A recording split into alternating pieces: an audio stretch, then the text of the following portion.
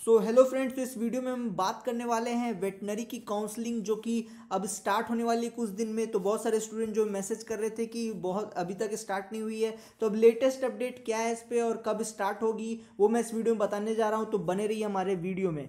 तो स्टार्ट करते हैं। तो आपको लोगों को पता हो कि एमसीसी जो एम काउंसलिंग लेता है, वो फाइनली जो है वो अब स्टार्ट हो चुकी है। 28 तारीख से स्टार्ट हो चुकी है। थोड़ी बहुत ज़्यादा डिले हो चुकी है हाई कोर्ट की ऑर्डर और तमाम जो केसेस के चलते जो वो डिले हुई थी, वो 28 तारीख से अब शुरू हो चुकी है। मतलब अब जो है वो काउंसलिंग जो एमबीबीएस की, यानी कि नीट ट्वेंटी की जो काउंसलिंग है, सारे कोर्सेज में, चाहे वो आयुष कोर्सेज हो बीडीएस हो एमबीबीएस हो वेटनरी हो, सब अब स्टार्ट हो जाएगी।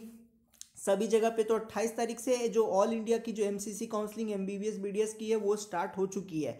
तो इससे हम लोगों को क्या पता चलता है कि जब ये स्टार्ट होती है तो लगभग उसके एक महीने बाद, लगभग एक महीने बाद वेटनरी की भी काउंसलिंग स्टार्ट हो जाती है। पिछली बार थोड़ी सी लेट हो गई थी, लगभग डेढ़ महीने के आसपास टाइम लग गया था, क्योंकि पिछले बार थोड़ा सा थोड़ा सा ज़्यादा दिक्कत आया था। तो अभी पहले से ही लेट हो चुका है और अब जो है वो सारे टाइम पे होने वाला है अब से। तो स्टार्ट हो जाएगा। एक महीने बाद जैसे स्टार्ट होने वाला है तो अब क्या है वेटनरी का काउंसलिंग कब स्टार्ट होगा? तो फ़र्स्ट राउंड का जो स्टार्ट डेट है, वो एक्सपेक्टेड है ट्वेंटी सिक्स फरवरी के आसपास। अट्ठाईस तारीख से स्टार्ट हुई है और वो लगभग 28 डेज़ 30 डेज़ के बाद स्टार्ट हो जाएगी। 26 फरवरी 2022 में स्टार्ट हो जाएगी फ़र्स्ट राउंड की जो वेटनरी काउंसलिंग है। लेकिन एक बात गौर करने वाले, यहाँ पे तीन से चार दिन का अंतर आ सकता है, या तो ज़्यादा भी जा सकता है या फिर कम जा सकता है। इससे इसी के आसपास रहने वाला है।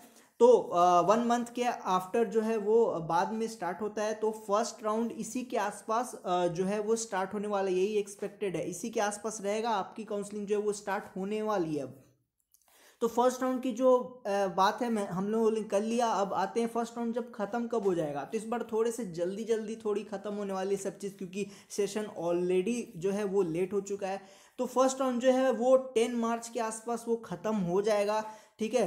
पंद्रह दिन टाइम लगता है यूजुअली फ़र्स्ट राउंड को ख़त्म होने में तो थोड़ा एक दो दिन पहले ही हो जाना चाहिए ख़त्म तो टेन मार्च से पहले, टेन मार्च के आसपास ख़त्म हो जाएगा। सारा चीज़ ख़त्म हो जाएगा फ़र्स्ट राउंड का इंक्लूडिंग रजिस्ट्रेशन भी हो जाएगा अलॉटमेंट हो जाएगा सीट का रिज़ल्ट निकल जाएगा एडमिशन भी हो जाएगा, वहाँ पर जाके कॉलेज पर जाके रिपोर्टिंग वगैरह सब हो जाएगा इसी में।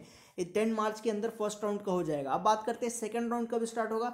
तो एक दो दिन गैप होगा उसके बाद थर्टीन फोर्टीन मार्च ऐसे करके स्टार्ट हो जाएगा। फोर्टीन मार्च के आसपास आप रख सकते हैं आ, जो डेट है।